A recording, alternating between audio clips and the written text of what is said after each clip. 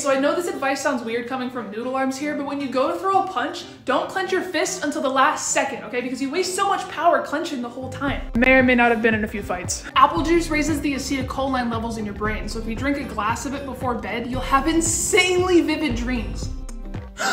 The Muppets are trying to kill me. Let's say you have a room full of smoke. You can clear out the smell pretty quickly with a wet towel and just go and fucking ham with it. This helps because Astro likes taking bong rips in the house.